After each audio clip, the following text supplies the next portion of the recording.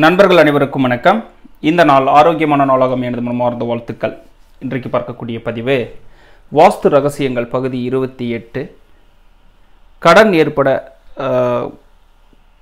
காரணமான வாஸ்து தவறுகள் என்ன அப்படின்றத பார்க்கலாம். இந்த பதிவை பார்க்கறதுக்கு முன்னாடி ஒரு நற்சிந்தனை.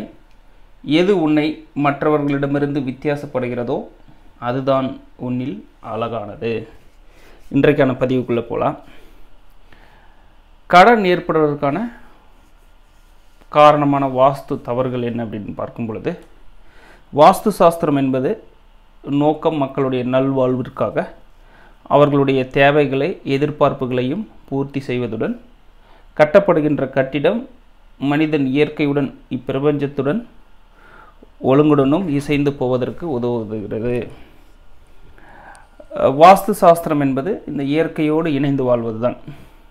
இப்போ வாஸ்துப்படி இருக்கக்கூடிய வீடுகளில் பார்த்திங்கன்னா நல்ல மகிழ்ச்சி அமைதி செல்வம் நிறைந்த ஒரு வீடாகவும் ஆரோக்கியமான ஒரு சூழல் ஏற்படும். தேவையில்லாத செலவுகள் வந்து குறைக்கும். அதே போல் நீங்கள் வாஸ்து தவறான ஒரு வீடுகள் இருக்கும் பொழுது அந்த வீடுகளில் வந்து பார்த்திங்கன்னா அடிக்கடி வந்து உடல்நலம் கோளாறு ஏற்படுவது அதனால் வந்து மருத்துவ செலவுகள் தேவையில்லாத பண நெருக்கடி ஒரு ஆரோக்கியமற்ற ஒரு சூழ்நிலை ஒரு சுறுசுறுப்பு இல்லாமல் இருப்பது. ஸோ இது போன்ற பிரச்சனைகள்னால தான் வந்து பார்த்திங்கன்னா பொதுவாக வந்து கடன் வந்து அதிகமாக ஏற்படுகிறது. ஒரு நல்ல ஒரு வீட்டில் வந்து பார்த்திங்கன்னா அந்த மாதிரி ஒரு சூழ்நிலை ஏற்படாது. இப்போ வாஸ்து முறைப்படி இருக்கக்கூடிய வீட்டுகளில் வந்து பார்த்திங்கன்னா முதலில் வந்து மனமாற்றம் தான் ஏற்படும். ஒரு தெளிவான ஒரு சிந்தனை இருக்கும். வாஸ்து தவறுகள் இருக்கும் பொழுது அந்த சிந்தனை மாறுபட்டு ஒரு தவறான பாதையில் செயல்படக்கூடிய ஒரு சூழ்நிலை ஏற்படுகிறது. எந்த மாதிரியான தவறுகள் அப்படின்னு பார்க்கும் பொழுது ஒரு பத்து தவறுகள் வந்து குறிப்பாக சொல்லலாம். ஒன்று தென்மேற்கில் கிணறு இல்லை ஆழ்துளை கிணறு தண்ணீர் தொட்டி கீழ்நிலை தண்ணீர் தொட்டி செப்டி டேங்க் இது போன்ற தவறுகள்.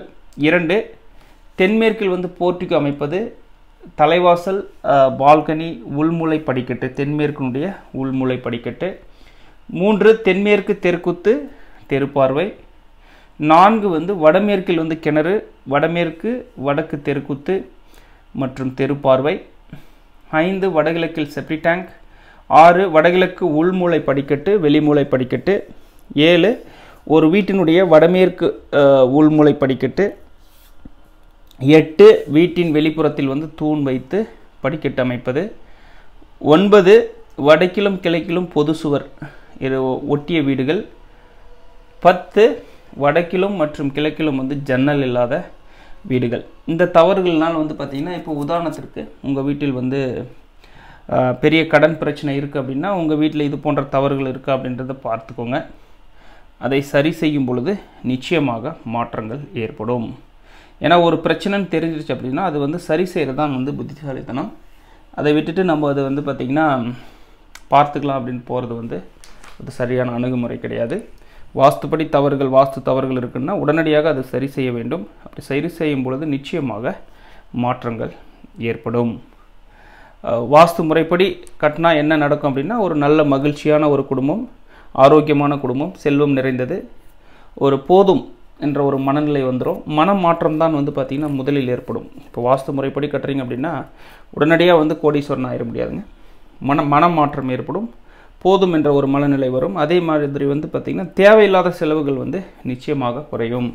இப்போ மருத்துவ செலவுகள் வந்து தேவையில்லாத செலவு ஆடம்பரமான செலவுகளும் வந்து தேவையில்லாத செலவு இது போன்ற செலவுகள் வந்து குறைந்து நமக்கு போதுமான பண வரவு வந்து ஏற்படும். நம்ம ஆரோக்கியமாக இருந்தால் நல்லா உழைக்கக்கூடிய ஒரு மன திடம் வந்து நம்மளுக்கு கிடைக்கும். மிக்க நன்றி. வாழ்க வளமுடன் வளர்க விவசாயம். எல்லோரும் எல்லா புகழும் பெற்று வளமுடன் வாழ வாழ்த்துகின்றேன். நன்றி.